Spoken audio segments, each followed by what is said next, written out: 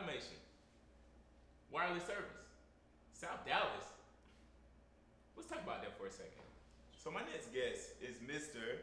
who needs no introduction, David C. Williams, who is AVP of AT&T. How's it going, man? Doing good, man. Glad to be here. I'm glad to get you on the show too, man. It's been a Yeah. while. You know, uh, I've been trying to connect with you for a second. so tell my audience a little bit about your background. Uh, Who has a very fascinating story, by the way. Sure, sure. So, um, yeah, David Williams, Assistant Vice President, AT&T Automation. Um, I lead one of the largest uh, robotics process automation programs worldwide. Uh, we complete over 70 million transactions automated and about 400 million in operating income annually. Um, have an extremely diverse team. Um, you know, a couple of patents along the way. I won an Engineer of the Year award last year, and I'm real happy to, uh, pleased to say that my team won an IT uh, Team of the Year award this year. So Nice. it's been a nice ride. Very nice. So, what is automation? What does that even mean in the AT&T universe? Yeah. So you have, um, you know, traditional stacks like IT or information technology stacks um, that do a lot of platform and heavy lifting.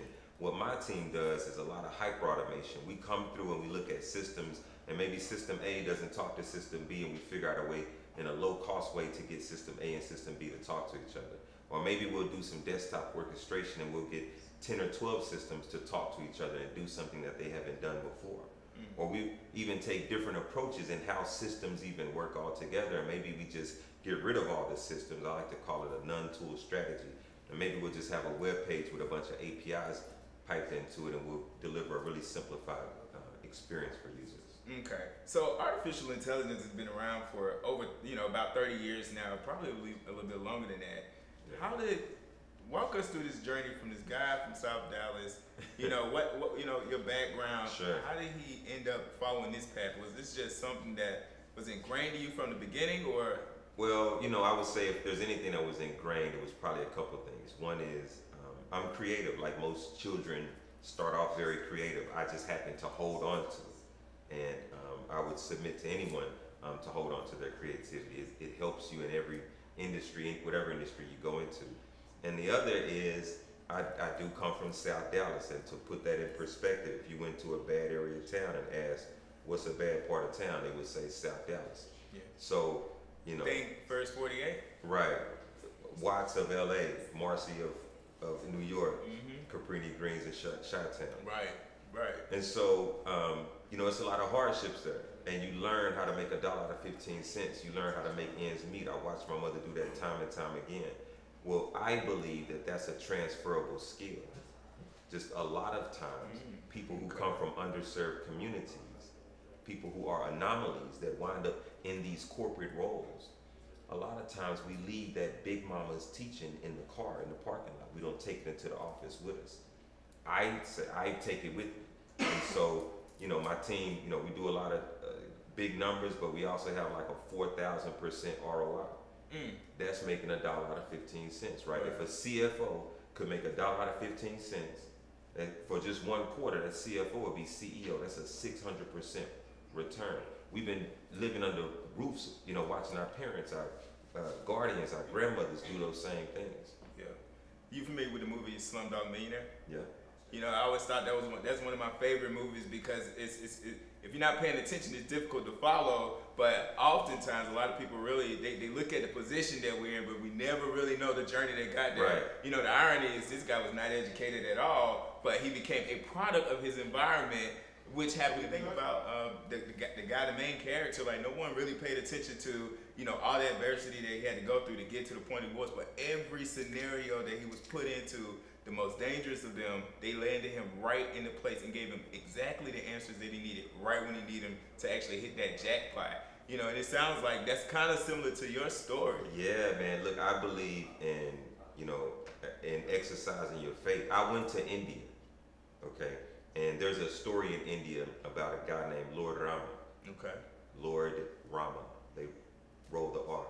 Long story short, Lord Rama was a crown prince. He got exiled, lived in the forest. His wife was kidnapped. He mustered up a small militia. They traveled to the south of India, built a bridge across the ocean to uh, Sri Lanka, had a battle to go get his wife back. I, I, I ask myself at times, like, yo, man, do I have the, am I exercising that kind of faith that I believe that no matter what I go through, I will always be able to overcome it.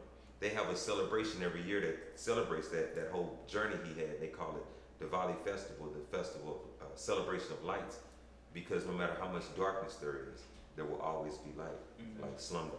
Right. So, given your background, the social impact that you believe that AT and T does, and and before we get into that, just give me your perspective on social the social climate when it comes to how the technology that AT and T has, and just in your realm of uh, expertise, Mhm. how that really impacts, whether it be negative, positive, or indifferently, Mhm. uh, people who have a a challenging background. Okay. So there's probably two sides of that coin. Uh, one is at the corporate level, what does AT&T do in regards to people who have challenged backgrounds and how technology relates to them? In that space, um, what we're doing as, at a corporate level is uh, trying to bridge, trying to close the digital divide. And so, hello. Run that back and break it down. Okay. Close the digital divide. Close It's such a big idea. it is, it's, it's huge, right? That is Now, such a it's, big idea. It, it's huge, but it's, it's just a couple of tenants that I'm gonna speak to, or that AT&T as a corporation are focused on. And so one is providing low cost and sometimes free broadband to underserved areas, Okay. neighborhoods. And the way that we're doing that is we're partnering with um, the federal government, the state governments, and a lot of school ISDs Mm-hmm. So that they can enable these students who are living in these underserved neighborhoods to have access to decent broadband so they can do homework and video and all the things that um, school requires today because it's way different. It's not just pen and paper anymore, right? Right. And so, Leapfrog learning. exact- that nature. A total different, you know, delivery system of education. exactly. Whether you're talking uh, uh, all sorts of video centric teaching, right? Mhm. Lessons. Um, so trying to provide that broadband to those uh, areas. Also at the corporate level, what we're doing is going into different places like the MLK Center in your city or whatever, Mhm. whatever, and helping to equip some of those places not only with high-speed broadband, 5G, but also the you know tablets and computers and things so that folks can have uh, um, the abilities to go use these things in a central location where you know we have a relationship with you know the Dallas Chamber of Commerce and, Right. and MLK Center and all those things. So at a corporate level, that's what that means. For me, look, I, I'm in automation. Uh, I didn't have a traditional journey into the role that I'm in. Um, because of my journey, um, I'm indifferent. I'm, I'm not indifferent. I'm, I'm um, very open to, I'm very um, considerate of the fact that everyone's journey will not be the traditional. Journey. So some folks on my team have PhDs. It's like Neo in the Matrix. Right. Some folks are not that on that uh, end of the spectrum from a technical perspective, but they know process. Mhm. They know where the bodies are buried. And so, you know, I hired and promoted a lot of black women, black men, Hispanic men and women, Asian, LGBTQ, folks living with disabilities, uh, veterans, um, because I believe that the way to achieve that 4,000% ROI, one word, diversity. Mm. Okay. You gotta have people that don't look like you, think like you, looking at the same problem. That's how you come up with the best solution. When we think about skill sets, like what do you specifically look at? Because and, and here's a challenge in, in my space, Okay. um, and, and for a lot of my clients. You know, it's funny you talking about the Dallas Black Chamber. Uh, those resources at the MLK Center, we have people that literally come up to, uh, you know, me sitting on the board that will lean up on our building just to get access to the Wi-Fi that we have because they don't Mm, have it in right, there. Kids right. that will sit in the Right. community center Yeah. just to get access to Oh, it. So it's a Or tremendous sit in the help. parking lot at the uh, McDonald's. Yeah, yeah, yeah, Yeah, yeah, yeah. absolutely, one hundred percent.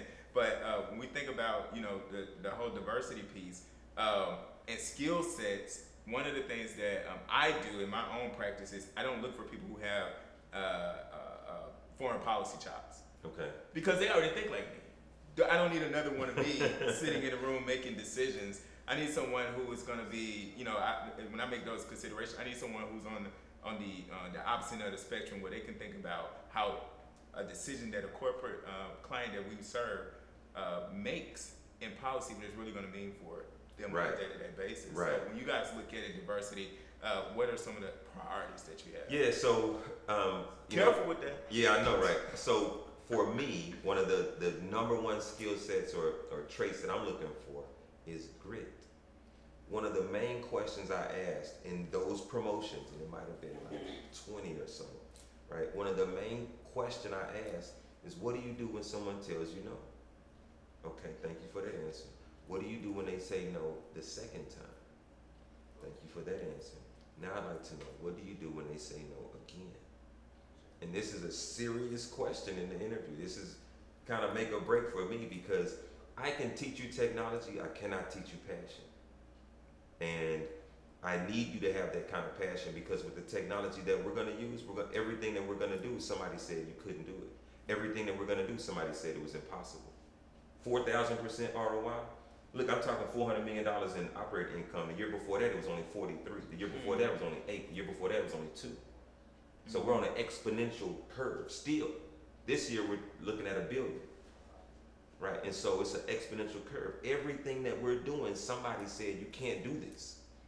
I can teach you the technology, I can show you the strategy through the culture, but I need you to have that grit inside of you. I need you to come with that in you. Okay. So let me push your buttons on this one a Alright. Because of the space that you operate in, mm-hmm. automation. How are you even, how can you ensure that you're getting the, the, the, the camp, the applicants that you are actually looking for in that diversity space? Because, and I'm asking this question because we know Yep. that now through those systems, they're looking for specific types of people, specific skill sets. And the computer through automation will will not show this person is qualified for this role before getting it. Those So how do you even yeah. Navigate that? How do you instruct your people to Sure. navigate that? So, so those kind of things can happen, and they do happen at, on a broad scale. Okay, let's not be, you know, naive about it. Um, there's probably a couple of things I say to it. So, one is um, when I, I I do a lot of mentoring, I, and I believe in mentoring. I was mentored, and it did the world for me. It helped me so much, and so I mentor a lot of other folks. And so, in that process, we talk specifically about what it is you need to do going through the hiring process. I've been around long enough. I've done it enough. I've, I've hired enough. I've watched others hire enough. Here are the actual things. I'm giving you the cheat codes on what you need to be doing when you apply for the job. Mm-hmm. Now, I'm not going to tell you to lie and do something, you know, dishonest, but I'm going to tell you this is what it needs. This is where it needs to go. And you know, if that's your resume, it- the resume, the entire on, professional on the profile. resume and the digital application, the pre-screen questions, the what, all of that. I'm gonna talk you through the entire process, the interview, the whole thing. But um, the question then comes from a protege I'm mentoring. How do you feel about this? Do you feel like you can answer these questions and, and have these responses? If not, then maybe there's some more work we need to do to get you ready so that you can answer this honestly and do these and have these qualities and so forth. And I'm gonna be there for that. But that's what I believe is true mentoring. I'm, you know, um, people play with that word mentor, mentor versus sponsor. You know, everybody is mentor is not your sponsor. I say, look, if you're not gonna, like, if you're not gonna sponsor me, why are you mentoring me? Hmm, good question. If you're president so and so, and I'm someone you think is worth pouring into, and I'm taking all of your advice, are you just building an entourage, or are you trying to really grow the circle and help us have black excellence on another level? That's an interesting um, perspective, interesting question because when we talk about sponsorship, we talk about a different level of endorsement. Right, point. yeah. Like you, you, you stand behind those credentials that they have Yeah. and, and the integrity of that person's work. You know, and I was thinking about that topic in automation because like currently right now, one of my clients, they have about 1,800 jobs open. I look at the job numbers from, um, from last month where it's like 212 new opportunities open uh, in the U.S. And then I think so uh, a little bit broader about that because like even with my hiring practices, the third party that I use, they tell me that people aren't qualified, so I go straight to LinkedIn and start and do my own application, and they do the filtering as well. And it's people who have skill sets that it's like you know, I don't want to advertise a role Right. and say that you know you don't need these, you don't really need these skills. When all reality, you, You do, do. need these skills. Correct. It's just I can teach you, Correct. and I need you to think a little bit differently. So, I, I think you have to be intentional. There's no way it happens. You cannot. I don't care if, who you are as a hiring manager, what color, what gender, what whatever you are. You have to be intentional, right? I, myself, and the few folks that uh, joined me on that hiring panel, we were intentional that we were going to hire a diverse group of people. We started off with that. Then we went after, you know, we're looking for what we were looking for. But at that point, we had already made a decision. We're gonna have more, we will have more women. We will have more people of color. We will have more LGBTQ. We will have we will have everything. We'll have more of all of this. and this from your ERG community, and is it a corporate goal or? Well, so so this was David's Okay, so this is an effort right now at the corporate level. Um, there's a few things that go into that. I'm a I'm a member, a proud member of a lot of ERGs, uh, employee resource groups um, at AT&T. And there's two sides of that coin. One, the ERGs promote opportunities to their members and let them know, hey, here's something that's available. You may not have even known about it.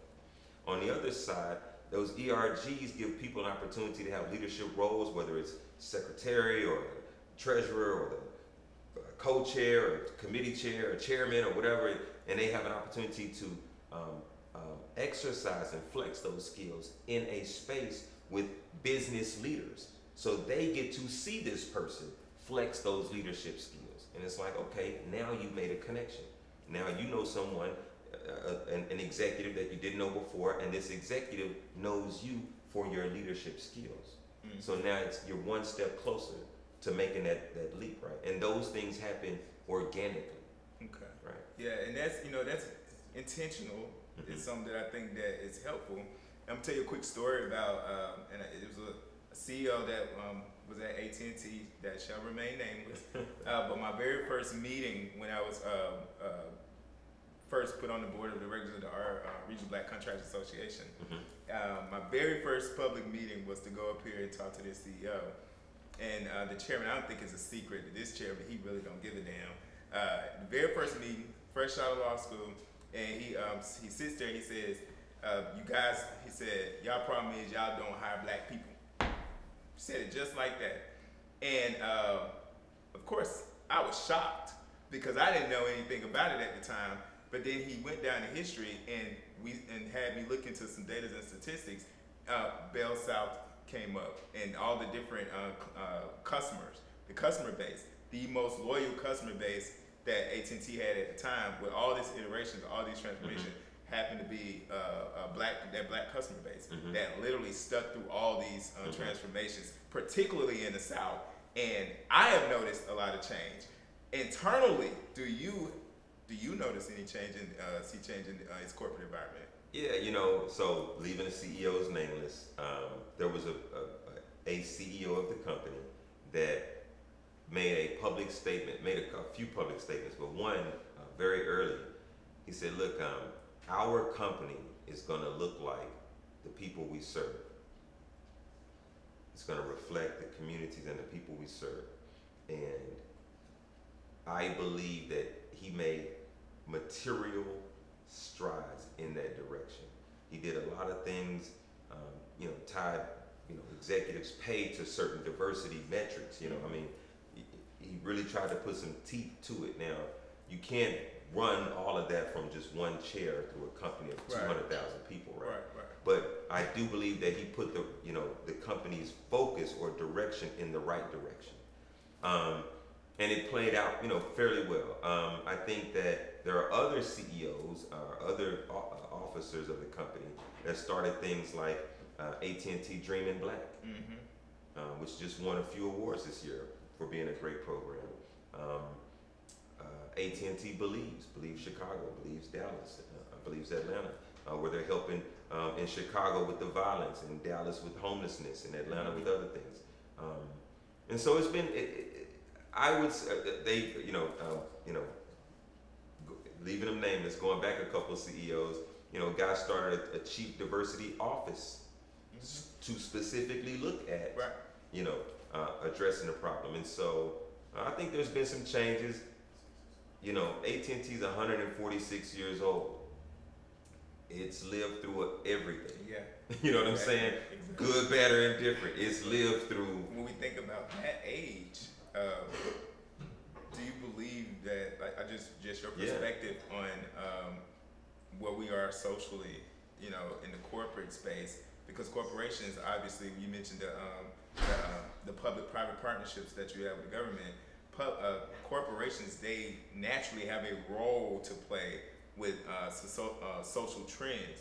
Uh, there Sure. are a lot of um, people who feel a certain way about um, the priority of DE and I.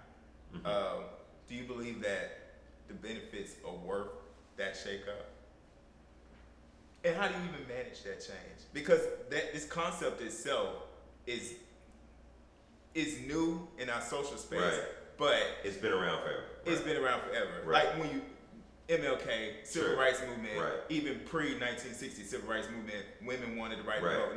Like Correct, that's always correct, been correct, an American correct. sentiment. Correct. But this is the first time we actually labeled it this way. Correct. Which is funny because America has always been a diverse nation. It's just that some people it was more of a class thing than Right. and a servitude thing than it has ever been. But now we call it this now, and it's like, is it really worth the, the fight? Yeah, I think so. You know, um, I've seen a number of presentations, reports, uh, dossiers that break this down, and, and the bottom line is, you know, com- corporations with diverse board of directors outperform companies with homogenous board of directors. That that's that's a fact. You know, Which I didn't I didn't know that Yeah, until recently, yeah, but and- that is a fact. and and and and it's not just at the board level. You can keep going down that uh, chain of command, Mhm. and, and and it still holds true.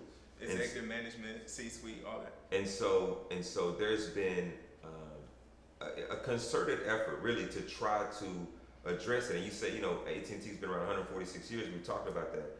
Um, you know, there are certain movements that AT&T was on the progressive side of it before it was accepted. Mm-hmm.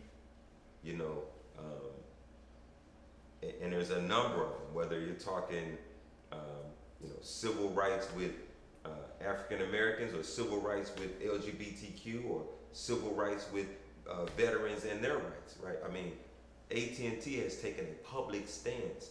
I mean, year after year after year. I mean, I, I can't quote them right now, but I don't know. Back in the '60s, '70s, they had these different timelines of where AT&T took a stance before it was law, took a stance before it was law, took a stance before it was law. And so we try to stay on the right side of progression. I mean, what we do, what we build, enables progressiveness. 5G, Wi-Fi, uh, smartphones, apps, broadband, you know, fiber, all this stuff.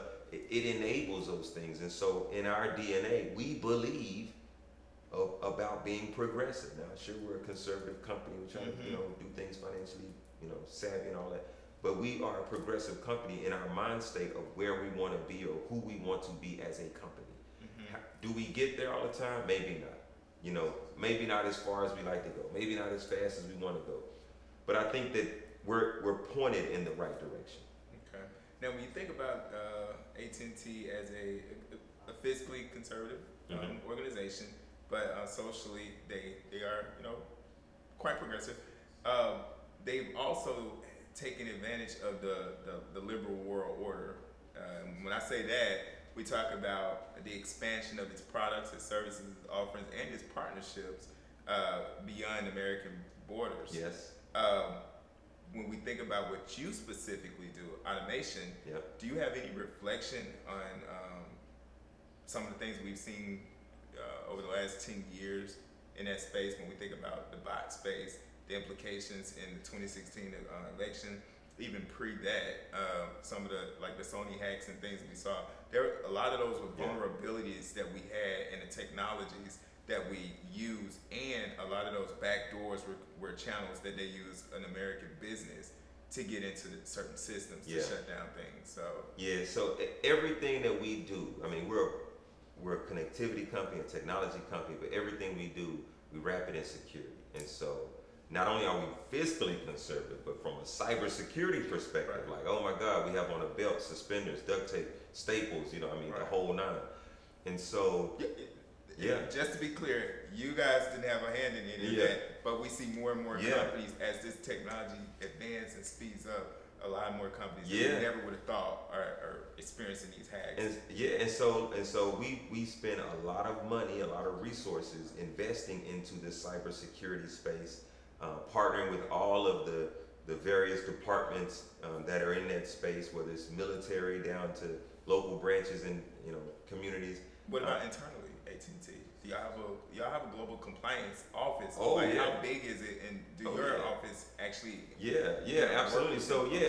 I, I work with our compliance and corporate security teams all the time, um, and they're very present in almost every facet of the business. Whether you're in customer service or working in a store or a technician outside installing internet, um, they're very ingrained into all of the processes, Okay. right? And for me, a technologist, someone who's trying to reinvent the future, right? A lot of times we're having conversations to make sure that as we reinvent, we don't step outside of some boundary and create a new vulnerability, right? We, you know, play within the guardrails, and if we need to push the envelope, we'll push it together in a secure way. You know, th- to that very point, um, when the pandemic hit, all right, it forced everyone to be sheltered in place, and AT&T is a telecommunications company. The FCC regulates that telecom Mhm. operators, when employees are working from home, cannot have access to a social security number, a date of birth, a credit card number. That caused a big bottleneck. If I can't take a payment or make a sale, man, it's hard to make business. Okay? And at a time in the pandemic when so many people needed to get connected, right, with smartphones and all that, right? And so, um, myself and my team, we figured out a solution to enable 40,000 people working around the world to be able to work from home and still be able to complete those transactions in a secure manner Mhm. without having everything encrypted, without having to worry about new vulnerabilities, and still be able to enable that. 40,000 people take 800,000 calls a day. That's a lot of folks that need, especially at that point in time, needed, how many hospitals, schools, law offices Wow. needed to get those services? Yeah. Right. To stay afloat. Yeah, Small just to- yeah. especially. Yeah, yeah. You know, and it's absolutely, you know, it's crazy that you would mention that because, you know, I was thinking about the American Innovation Act and I wanted to touch on a couple of things in it, but to hear that story, it just, um, it just, it just kind of crystallized how wrong the policymakers, you know, are getting this because the overall spirit is to protect, to protect, uh, little guy, Yeah, and I guess we could say consumer Yeah. of these technologies yeah, uh, from big tech, if you will. But I think that's the wrong way to actually look at it, especially you use the term reinvent the future. That is innovation. Like we change the way we do things to advance what we're doing. Uh, from a policy level, a lot of that stuff, have you looked at it? just a little. Just a little bit? Just a little. uh, you know, I'm not going to even bring out too much of that. I might put my phone out here in a second, but just from a policy level, how do you feel about the way uh, our government is handling a lot of this, the regulations, the regulatory uh, framework around technology? Because it essentially does not exist outside Right. of a compliance, you know. in a lot of spaces, right? Right. Um, you know, I think that the way that we, um, the way that laws and rules get put into place around technology, at a corporate level, the way AT and T talks about it is, look, we just say, look, it's okay to put laws and rules. We just want them to be fair, right? Don't treat us differently than you might treat another company doing the same thing that we do Mhm. and now you're giving preferential treatment to them where you know not to us and and AT&T has lived through that in a number of different instances where the laws came out and, and AT&T was somewhat handcuffed or penalized um, by the law and, and had to, to, to, to work through that. Um, Telecommunications Act, you know, all the Texas ComSouth stuff, you know. Mhm. And so, um, where they never built a phone company. Right, So, right, right, right, right. That was a Right, right, right. PR stunt, actually. Right, and so um, we just don't want those things to, to happen again, and that's our stance. Um, but when it comes to um, you know regulation across the internet, um, new services, social media, crypto, all those things, Um, you know, we sit at the table we, as much as we can to, you know, to, to be a part of the dialogue and hopefully to, to um, you know, share our perspective on it. But at a, at a, at a macro level, our goal is we just want fair regulation. we look, we don't want to beat up anybody, nor do we want to get beat up. We just want to compete, and we think that we got stuff to sell that's competitive. In the American Innovation Act, it assumes that um, a tech company has the ability or uh, can gain the capability to control 25% of a person's data. Um, and when you think about something like that, that's such a broad statement. Yeah. It is so bold to say that. But how off base are they with that? Like, let's really think about it. Um, prime example on um, certain platforms, certain um, apps that we use, uh, Snapchat being one, the end user can save messages that the, The sender- the sender has deleted. Correct. And the sender, an example, decides that they want to change their life. You know, they sent that, you know, that cock shot or that, you know, that those booby shots. They sent that sexting, which is something that happens, It happens. today. Um, but then they don't know that the the end user still has that. Yeah, yeah. How can that, you know, change a person's life? I mean, it gets out. Yeah, I mean, it could be detrimental.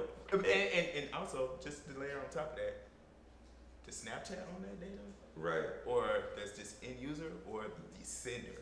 I think the U, the EULA, the end user license agreement from Snapchat probably says that they own it. You know, no one reads the terms and conditions anymore, right? Yeah. Um, and and But is that twenty five percent of this? so the question of can a technology company own or control 25% of a user's data? Look, some people live off their smartphone.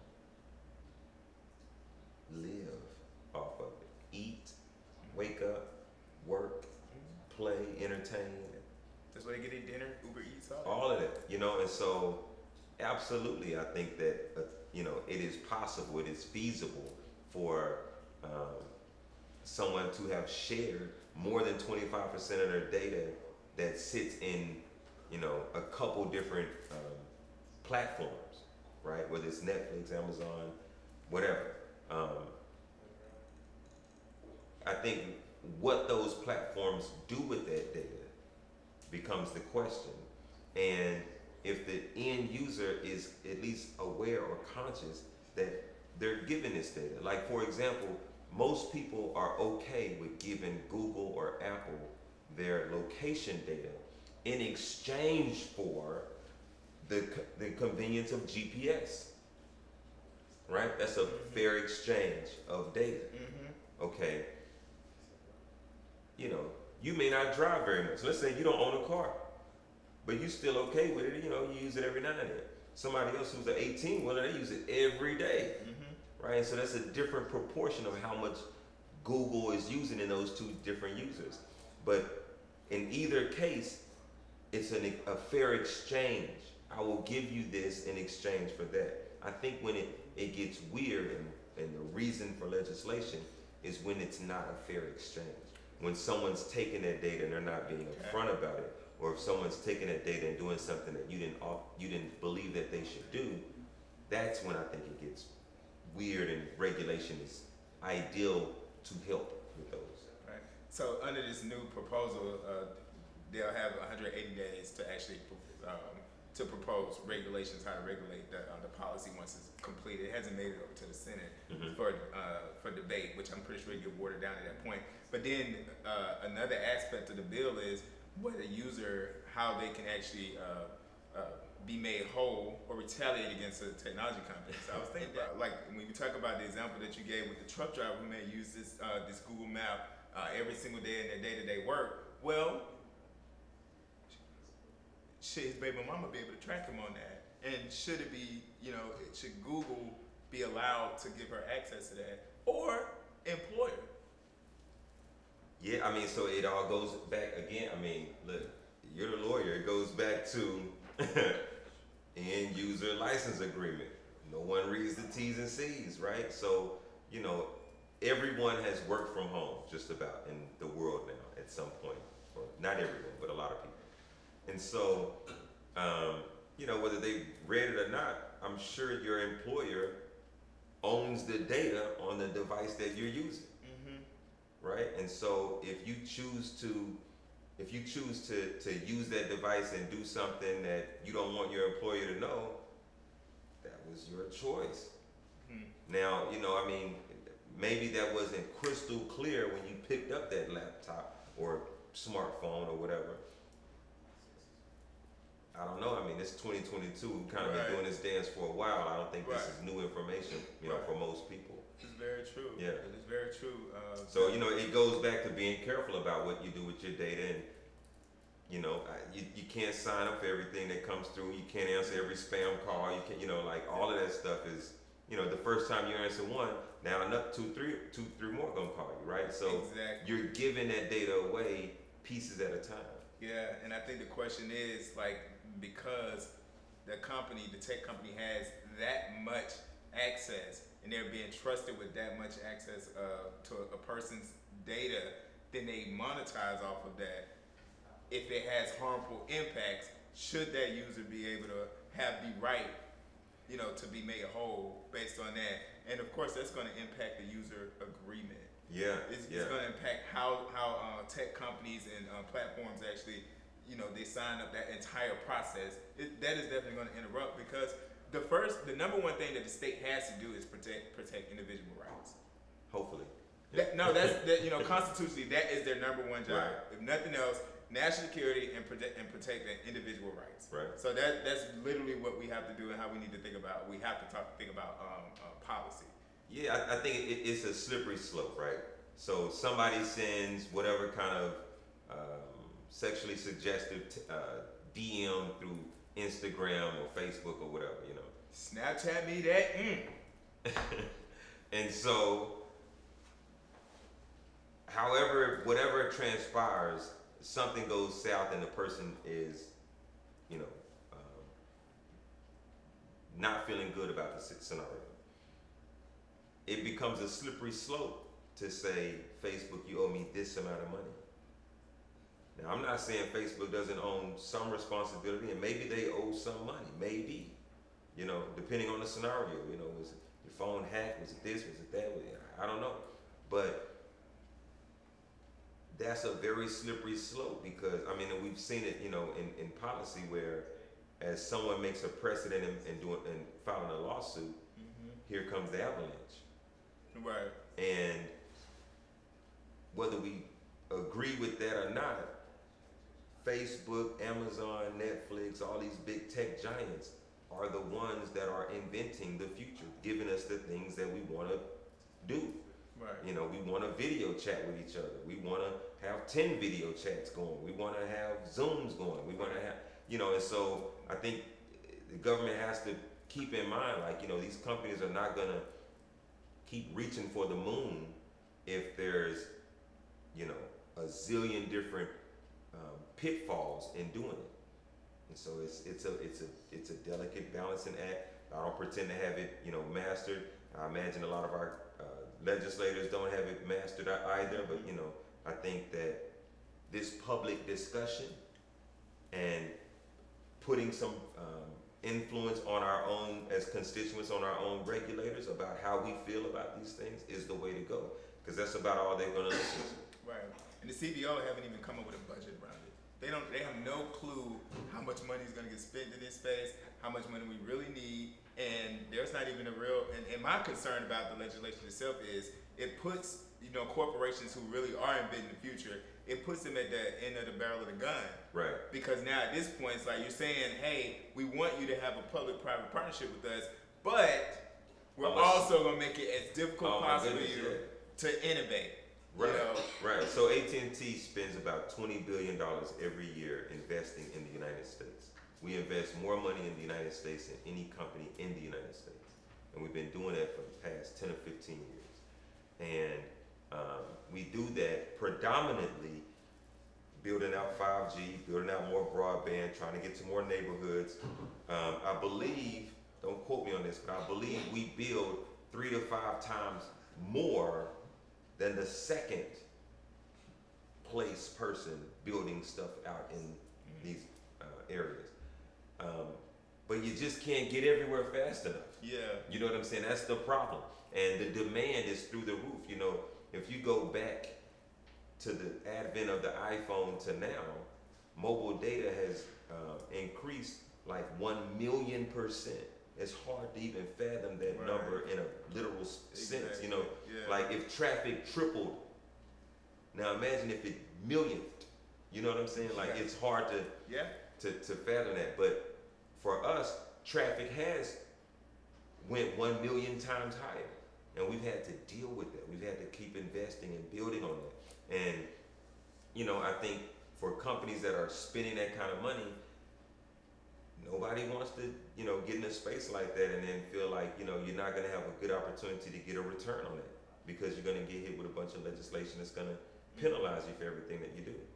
And so again, I just think it's a, a huge balancing act that folks have to, you have to thread that needle properly. Otherwise, you're gonna slow down innovation or you're gonna leave a bunch of customers vulnerable to, you know, being misused. So I want to take a different little turn, just get some personal thoughts that you have about. Uh, Like, what do you think about that space? Because, like, okay, it's a new term. We have a term for it, but virtual space is, you know, it. We we've been existing in that, Right. and, and it's just evolving. Now we just we are the like Sims now. exactly, exactly. We're literally being placed in it, Right, you know, and right. have to operate in it in a different type of way. But I think people just waking up to it now. Like, Look. what are your your thoughts? All right, so this is this is non AT and T. This is my thoughts. All right, oh, so. So one, I absolutely love the metaverse. I, I love the whole concept of it, everything that goes along with it. Um, but I also look at the metaverse and I say it was ingenious because look, Google is the index of the internet, Mm, okay. right? That is how you know Bing and others are trying, you know, but Google is the index of the internet. That's how you get around it. And um, they have a, a beach head, a beach front that you just cannot beat. They have it Yeah. kind of, and Mark Zuckerberg figured out a way to take that and put it in the metaverse. Where before you would search for things using keystrokes, and now you walk around and travel.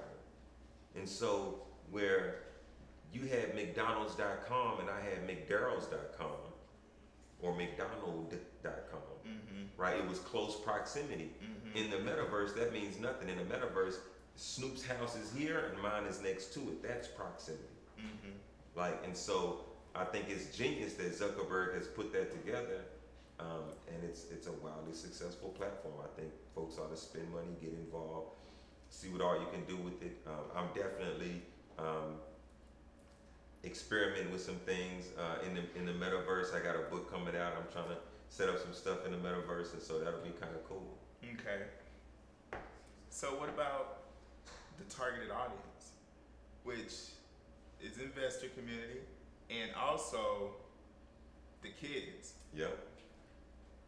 That that's a that's a different world So at that point. Yeah. So uh, again, going back to investment, right? Zucker, Facebook. Let me take him out of it. Facebook spends this amount of investment to go build this new world. Is really what it is, a simulated world. And um, if they are going to um, try to re- get a return on that investment, they're looking for early adopters. Yes. Who is going to be an early adopter? Mm-hmm. people with money, you know, uh, addition, uh, dispensable or discretionary, excuse me, funding Mm-hmm. um, that can play in that space. And there's also going to be young folks that are interested and curious about it. And already understand it. And They're so having that'll be learn. yeah, that so that'll be the ecosystem for a minute, and then you know, the investor community will grow. It'll grow into you know folks that are maybe a little older, or the metaverse will be around a little bit longer. And the younger folks will grow up into and be at, at a different age in the metaverse. And as young people come into it, now you have a whole new population into it. Some folks, whether of a certain age or just a certain belief, don't want to play in the metaverse space at all. Okay. Just like you know, some folks want to call the phone com- or call the water company and pay their bill versus paying it online mm-hmm. or you know automatic payments. That still happens today, and that same dynamic where you know folks don't want to necessarily participate in that digital space. This is just another iteration of it. Yeah. So here's my concern about that. And I was listening to the Breakfast Club a, a couple of weeks ago, and everybody called up and they laughed about it. But there was a woman who filed a, um, a suit against um, a company because she would she claimed that she felt as though she was sexually harassed in this uh, in this virtual space, and and uh, and that sounds ridiculous for this woman to say that. Now imagine this is a 12 year old girl. Like, when we think about virtual spaces, virtual currencies, uh, and things, that entire ecosystem, a lot of sex trafficking happens there. Uh, a lot of teenagers have all of these uh, these mental health issues and uh, uh, uh, get significantly impacted by their presence in a virtual world. A lot of those girls that's on Instagram, they got these fake um, profiles and stuff. They're taking pictures in their restroom or they're taking pictures at some place that their parents dropped them off. That world that they're living in is something they project online. It's not their actual life because when they go home, Right. they have to make the bed and Right. they can't have that lipstick on when they get in the car. Right. You know, Right. so we have. I think a lot about that, and I also think about how it's being targeted and marketed. Yeah, man. It's it's so man, that's it's a, it's a slippery slope. So one, you know, I wouldn't want anyone to be sexually harassed, regardless of age. And uh, I think it is a human instinct that when we think about children, um, it, it grows even more heightened awareness and, and, those things. And so. Um, two sides of the coin. One is, listen, it's 2022. The internet's been around for 20, 30 years now, I guess. Listen, you can't put everything out on the internet. You're gonna have to guard yourself. You're gonna have to protect yourself. Hopefully, you have parents, teachers, somebody that can, friends, relatives, significant other that can warn you, educate you, so that you're not naive to certain tricks that people play on the internet to to harass you. Okay, so that's one. On the other side of the coin is I think sexual harassment, I think bully, cyber bullying and all of that, I think it's gonna get a lot harder to do. I think the metaverse is probably the best caller ID for the internet that you could imagine. See, oh, you used to oh, could play on the phone. Let me go back. You, you used to could play on the phone and call somebody to do a prank call. Remember Bart Simpson or The Simpsons? He would call people, make these jokes, whatever. They didn't have caller ID in The Simpsons. Okay, caller ID come out. You call my house and said, "What?" Right? I get not only get your phone number, but find out where you stay and all the other stuff with it. Well, in the metaverse, I don't think that. I think that it, it may not be there yet, but I think with AI and with the fact that you are projecting your own image or whatever your persona is in the metaverse, I think that that is going to give a lot more breadcrumbs for authorities or platforms to say we don't want that here. Yeah, but we haven't seen evidence of them doing it now. No, we haven't. No, we so haven't. So that that's what causes me to pause. Like, I think that it could be if the companies, you know, uh, if their bottom line was aligned with what the if they really redefined their values. Like for Which instance, gets back to, I hate to interrupt, but it gets back to the very point you made earlier about how much do you award that person? Maybe there is something that you award them. I don't disagree. Mm-hmm. I don't know how much that is. Is it ten dollars, ten million dollars? I don't know, right? But I think when you start to do that, when you get that balance of legislation right, I think those things start to happen. Facebook changed from Facebook to Meta, yeah, not only for aesthetics, right? They were in, in court. I mean, they were in, in congressional hearings yeah, a lot prior to that name change. There was a, a rebranding right, of right, Facebook, right, right, to kind of throw off some of the other stuff that was going on Yeah. and, and set Facebook up in a different light. Yeah. And and, I- and you remember that whole meta concept, they was just two years before being called before Congress, they were uh, fighting with the legislature about whether or not they can have this this currency. You know, and that's what metal was being advertised for uh, legislatively at first, and no, not, not one country on the planet would go for it because they're like, no, you can't.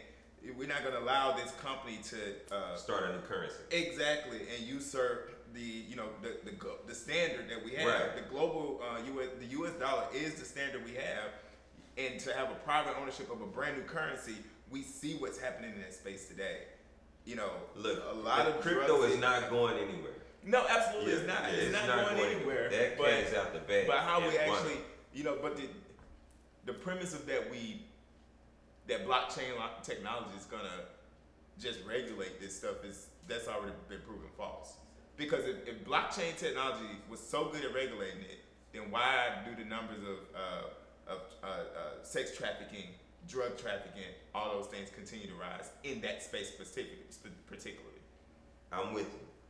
So I, think that some regulation is going to occur, right? Uh, when the internet was born, what was it like '93 or something, Mhm. right? They didn't even know what kind of law to write. '91, Yeah. yeah, '93 became it really Right. going out. Right, you know, they didn't know what kind of law to write about. What is the internet, right? They didn't even think it was gonna last or be real or whatever, right? Mhm. And now there's a zillion laws that govern payments and and end user license agreements and all this other stuff that we had no concept of before the But here's the thing: that's not legislation, though. That's the scary part. That's compliance. Ah, yeah, right. That is cool. And and these compliance officers, you know, FC, FCC Sure. and stuff like they. It's not coded in legislation. That's the thing that sure, concerns Sure, me. I got you. I got you. Yeah, good point. Good and, and good delineation of that. Um, look, I, I think that it, it is a dilemma. It's not an easy one to solve. I think that as meta grows, the metaverse grows. I just think that there's no way they're gonna skirt around somebody's putting some laws around it. There, it is just gonna happen. Now, whether it's laws that you and I feel like, oh, this really helps, you know, like, hey, we got GPS, we got something for these laws, like this really brought us somewhere. Maybe not, you know, I don't know. Jury's still out. Yeah, yeah. Such a heavy topic. It is. Um, so uh, I'm gonna go to something a little bit lighter. All right. Um, what's going on in the foundation that you that you're supporting? Uh, I've seen a little bit on the social media, oh man. know, LinkedIn. Yeah, so I, I got a I got my hand in a few different areas. I'm trying to um, just try to help the community. I mean, that's that's at the end of the day. Um, so I joined as a board member for Spark Dallas. That's a creative learning facility, and um, their premise is around um, if you can help a child to realize their creativity and retain, hang on to the belief that they are creative Mm. they will do better in in life and professionally, et cetera, et cetera. Uh, that's the premise of that. Um, individually, what I've been doing is um, holding solar robot workshops in underserved communities. Mhm. And um, in those uh, workshops, what we try to teach, I can't teach a child robotics in two hours. Right. What I can do is expose you to robotics. I can expose you to solar energy and how that works. I can we can have some fun, some competitiveness in building the robots and racing the robots and maybe light a fire inside you so that you're inspired to go do this more. Maybe I can uh, work with children young enough that they can get into the uh, the tech space and, and be successful because it's kind of hard to jump in senior year of high school and, you know, and go be right. a data scientist.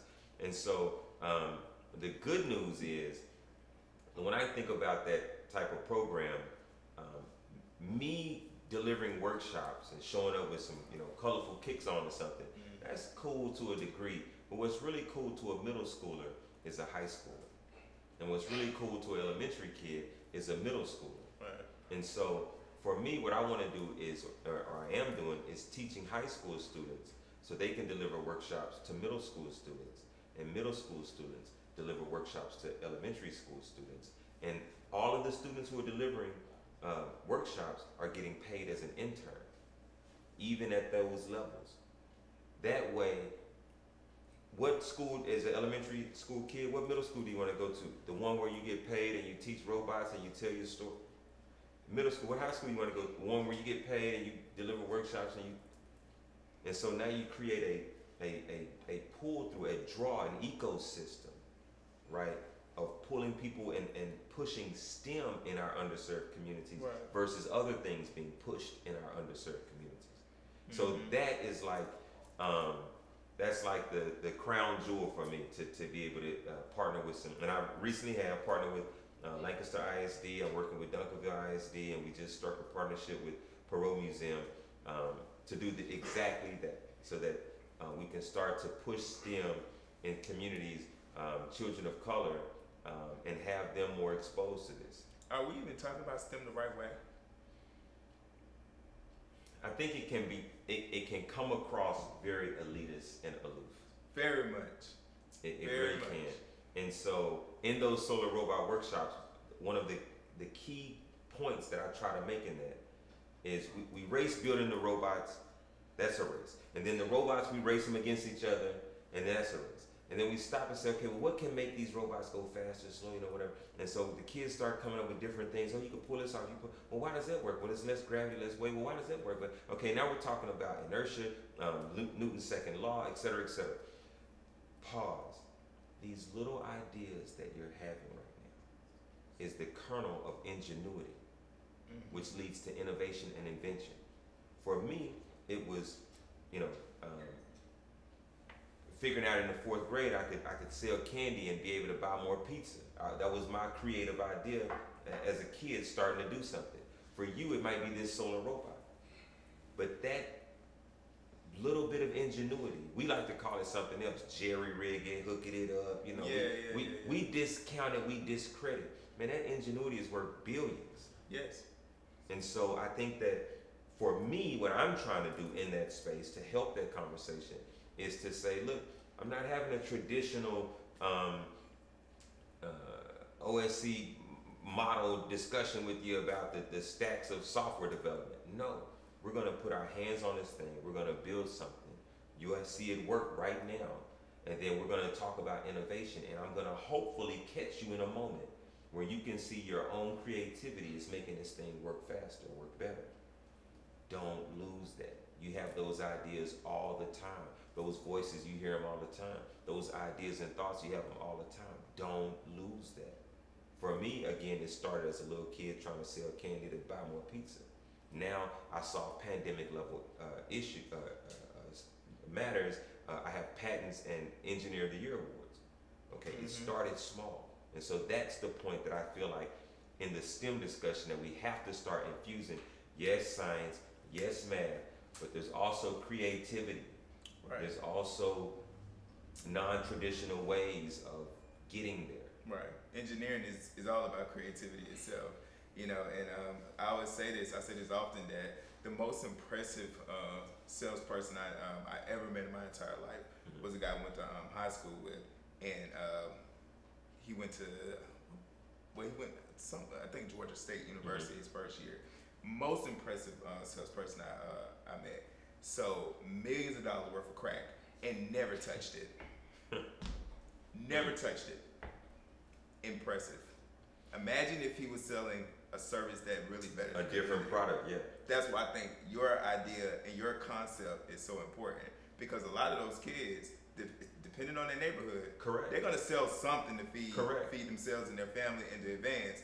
Why not sell a skill that Man. matters to them and gonna contribute to to the, to the Right. broader community? And so, and, and that's my dream is that you have students, you have children in underserved communities, and you know, um, little Johnny's having a birthday party, and instead of it being at Chuck E. Cheese, they having a solar robot workshop, and you know, uh, little Ray is gonna come over here and teach little John at little Johnny's party. Little Ray will get paid. Little Johnny, all these kids are gonna see it. They, they have a fun time when we do these workshops. These kids go crazy Right. about this stuff. I mean, it, it really turns the light on in them. Every age. And we bring a pizza. Yeah. You know, yeah, you, I mean, want, yeah. little- you want some, you know, yeah, of course, of course. some pizza, then we'll, we'll buy the pizza and bring it to Exactly. you. But But I think that that is my goal is that we can have an entrepreneurial spirit with products and, and services, things that are uh, constructive versus destructive in our community. how do people get involved with that? Um, look, you can go to dcwtmt.com. Easy. David C. Williams, dcwtmt.com. Plug. Plug. So, so we Yeah. got some exclusives. What's next? Um, it's a lot that's next, man. So you can't um, come to this show right. and not, and not throw All out right. no exclusives. all right. man. So look, all right. We'll So. All right. uh, all right. So look. So um, I'm going to New York um, uh, June 13th to pick up a Stevie Award. My team won uh, a bronze award for uh, Information Technology Team of the Year. AT&T also won a Grand Stevie Award for Organization of the Year. There's like three, four thousand companies that compete for these Wow. uh, these, these slots. June 13th. June 13th. That's right after your birthday. It, right before. Then Oh, the right. 15th through the 17th, exclusive uh, Roadmap to Billions in New York Women's Tech Conference. Roadmap to Billions. You can check that out on my Instagram, David Chris Global. Um, but um, listen, that's going to be an amazing conference. So many people are going, Okay. and it's going to be in the city. It's going to be in New York, so it's going to be crazy. And then, um, look, I got a book that's coming out, man. Okay. Oh yeah, yeah, yeah, yeah. I got a book that's coming out. Business model.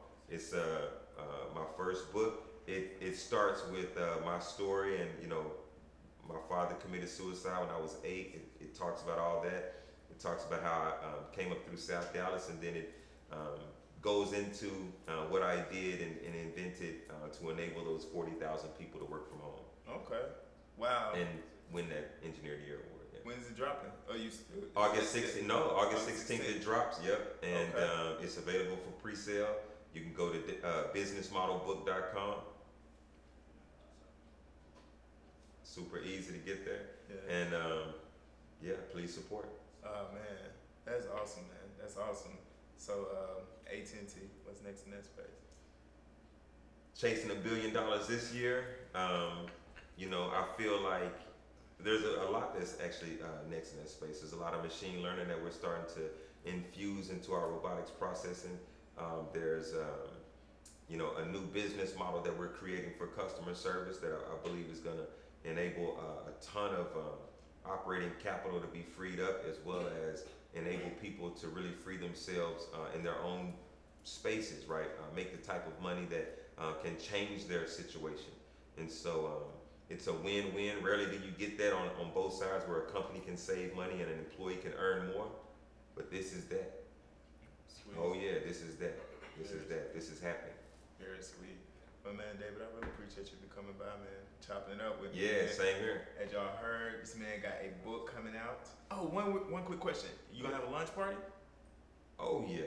Okay. Oh yeah. It's Okay. definitely gonna be a lunch party. Um, uh, to be determined exactly location, but we'll have it on the gram for everybody to check it out. All right, y'all make sure y'all follow this guy because he had a lavish party, as you can see with them Nike sneakers on. This man does it big. I really appreciate you for coming out. This has been another edition and installment of Let's Talk. All right, man. So y'all heard it here. IG. Make sure you continue to follow him and on LinkedIn, David C. Williams. Uh, check out that lunch party. Be on the lookout for the new book that's coming out because he does it big. And we really appreciate you for stopping by on the next edition of Let's Talk About It.